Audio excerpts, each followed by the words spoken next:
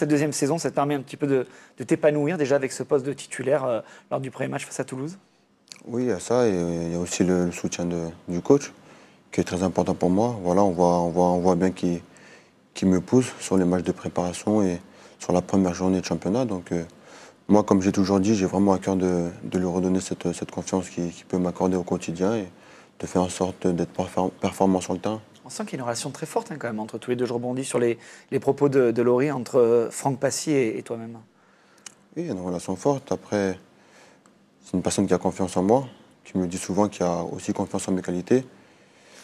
Il me dit assez souvent j'ai les qualités pour, pour réussir dans ce club. Donc, euh, ce sont des, euh, des, compliments très flatteurs. Et, donc voilà, j'ai vraiment à cœur de, de, de réussir ici.